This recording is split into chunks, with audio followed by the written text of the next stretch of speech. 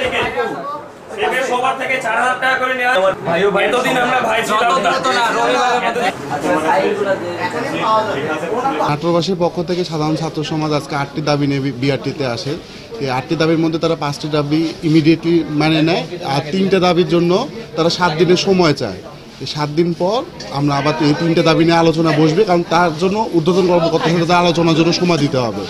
এই জন্য এই তিনটে দাবি নিয়ে আমরা সাত দিন পর আবার আপনাদের আপডেট জানাব। পাঁচটি দাবি আজকে থেকে কার্যকর। সমাজের ভাইরা যে দাবিগুলো নিয়ে এসেছে তার মধ্যে পাঁচটা দাবি পূর্ণ পূরণ করা হয়েছে এবং পাঁচটা দাবির সাথে আমরা একমত।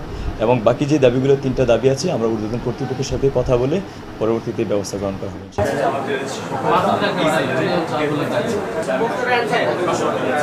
আমাদের ঢাকাতে অফিস আমাকে আমি হচ্ছে যে